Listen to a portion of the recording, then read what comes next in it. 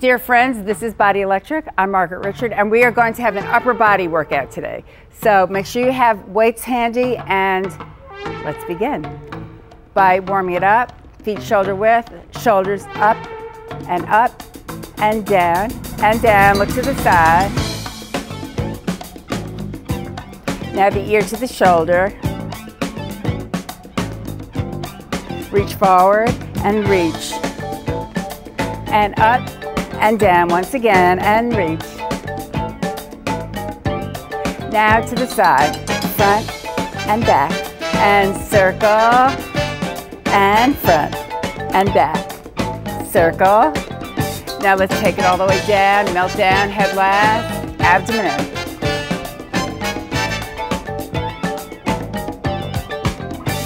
Okay, check it out, loosen up and grab your weights. We're gonna start working the shoulders. I would suggest to go not too heavy with the weights. Let's go about three pounds. Shoulders down, that's your anchor. Up for two, and press. And up. Press. Your tailbone is facing the floor. Your knees are slightly bent, the abdomen is in. A few more, and up. Now remember that your shoulders are your anchor, that's what we're working. The wrist doesn't droop, the fingers are relaxed. And let's take it to the front. Shoulders stay down. And separate the shoulder blades, but basically keep facing me. And reach. Relax the fingers. And reach. Front, up for two. And press and lift.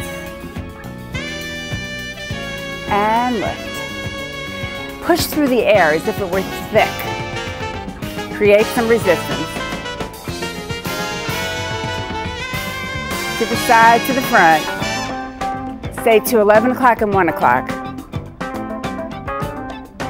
Up, and the shoulders are down, the neck is long, the body stays facing me. And when you get into that area where you're a little fatigued, but you keep pushing, that's where we want to be. Bend the elbows and palms facing each other. So it's a small movement, up and down abdomen is in. I'm going about, oh, two inches in each direction. My elbows are right in front of the body, the wrists are right over the elbows. And in for two. Out and press. If you have to stop and take a rest because you're just starting up, if that's appropriate for you, you do that. The most important thing is that you not lose the form. Keep the form very correct. And once again, up and down, up and down. Watch that the wrist is right over the elbow. Breathe out as you lift. And up and down.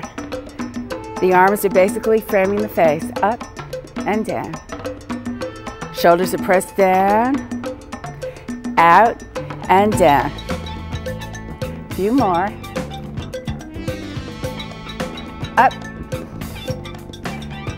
Up. Watch that the knees are relaxed. The back is under control. The abdomen is in. Fingers relaxed.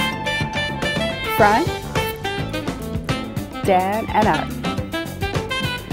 And then you start uh, looking in the mirror and you see these wonderful kind of rounded shoulders with this little muscle happening. And uh, it's a thrill to behold, or to be held. Okay. All right, let's make sure that we stretch, particularly through the neck, but let's stretch to the back first, get the muscles long. Stretch from all the way through the neck area, through the shoulder. Okay, now we're going to work the back of the arm, the triceps. Again, we go a little heavier on these if you like. Again, it's very individual, whatever your fitness level is. And you might even find that it changes from day to day. Now I'm going to start out with fives overhead. Keep the elbows framing the body up. And so I'm going down for two. The um, hips are tucked. And if you can see, the weights are just kind of hanging from my fingers. And up.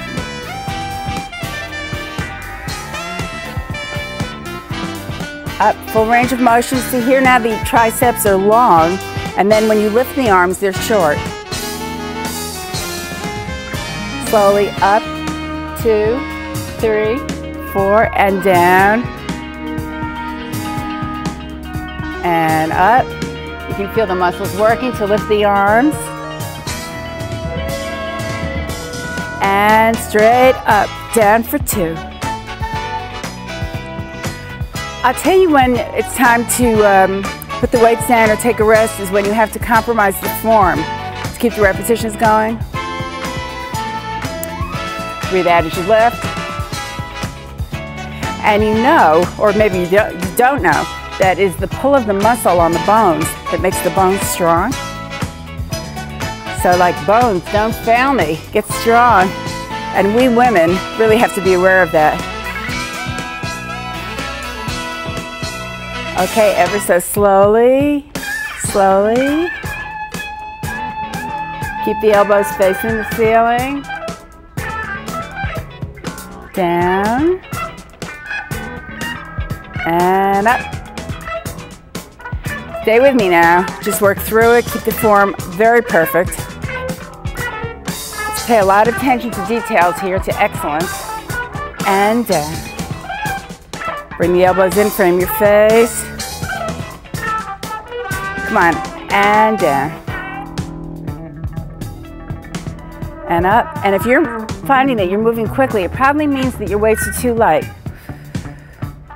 Here the triceps are expanded, and here they're contracted, and down for two. If you have a mirror, take a look. See the action. And up. Okay. All right, excellent. Let's put the weights down and quickly, efficiently, I should say, stretch the back of the arm, the triceps, press the shoulders down, bring the elbow right in line with your chest, the center of your chest, and stretch. The stretching feels good. It's kind of like our own little reward. Okay, now we're going to work the opposing muscle, which in this case is the biceps, are the biceps. Now I'm going to double up on these weights. So I have fives and threes, eight pounds in each hand. So if you have a single set or you can double up, do yourself a favor, challenge yourself. Here we go. And up and squeeze. The palms are facing the ceiling, the hands are slightly relaxed, your abdomen is in. Tailbone pointed down, chest lifted, and squeeze and you just glory in how wonderful your body is, what a wonderfully functioning, utilitarian thing it is. Squeeze and down. Squeeze the biceps and then make them long. Press. Relax the fingers as much as possible. Now with one arm only, two, and switch.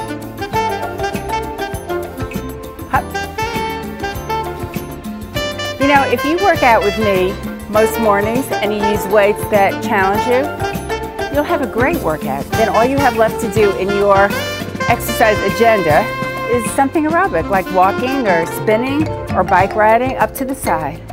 Slowly, and let's take it slowly down. So now the palms are facing the ceiling, and let's go a little faster. Up for two, and long. Short, now, I could probably push and go even 10 pounds, and by the way, don't let me rush you. Take your time. Part of being fit is knowing what you can do and what you can't do. So if you have to go a little more slowly to get through the range of motion, please do so. It's not rude at all. It's like starting with when the food's hot. You just have to do it. Slowly, press the shoulders down and down. Try not to bend the wrist. You want to keep like a straight lever. You know, I know many of you started with me, oh, so many years ago. And look at us now. We're such big girls and boys and strong. And it's never too late to start. Facing the front, the palms, facing in. Up. We are the Body Electric sisters and brothers who have become the mothers and fathers. Okay. All right, let's put the weights down. And let's stretch the biceps long, lengthen them. Feel the muscles stretch and relax. Okay, now we're going to work the pectoral area of the chest. I'm going to do some push-ups, and before I begin, I want to show you three different options. In the first place, if you have, excuse me, Mr. Chair, if you have a mat, uh, put your hands in front of it so that you're not, the width of the mat doesn't dictate the, the width of your hands. So the traditional way to do this, we kind of call, it, call this girls push-ups, is to come straight forward and straight up. If you're a little less advanced, you can keep the hips over the knees, so it's more like just a dip. And of course, if you're more advanced, do them with the legs extended. But of course, I could do them all in the advanced way, but I want to, you know, give you the option of doing it with the knees on the floor. So, let's start back. And, uh, well, maybe they're not as much fun as some things, but they're kind of fun. Maybe just a little bit fun. Well, they're fun if you can do them. Keep pressing the abdomen against the back. And it's a great way to work the chest muscles, not, not the breast tissue, but the chest muscles that support the breast tissue. Keep pressing the abdomen against the back, support it. Breathe out as you lift. And let's just enjoy a moment of silence while Margaret does just a few more. And I hope you're joining me. Two more. And one more. And back for two.